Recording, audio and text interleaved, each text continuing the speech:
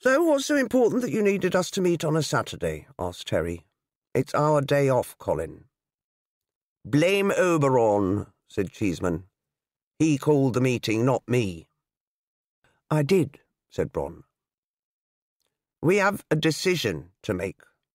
A decision that affects us all, so I thought it best to put it to a free vote.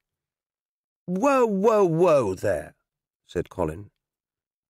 You didn't say anything about a vote. Members of Flan don't vote on things until I've decided whether a vote is needed. Are you saying that we can only ever vote on things that you say we can? said Bron.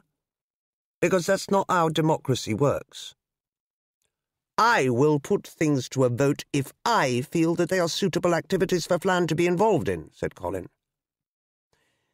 Yes, but we should all have a say in what those activities are if we're the ones doing them. We're partners in this, Colin. We're not staff or servants. Yes, but only if I. Well, what is it we'd be voting on anyway? asked an impatient Onions. Willie and I had a recce up at the site this morning, and the truth is that we've achieved nothing the other night.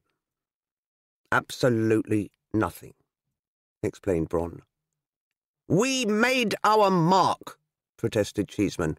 Flan has shown itself to be a real force. No, we didn't, said Bron. The plash is already more than half drained. Another day and it'll all be over, so we either need to act tonight or accept that we've failed. We're free tonight, said Terry, grinning and cracking his knuckles. June frowned at him.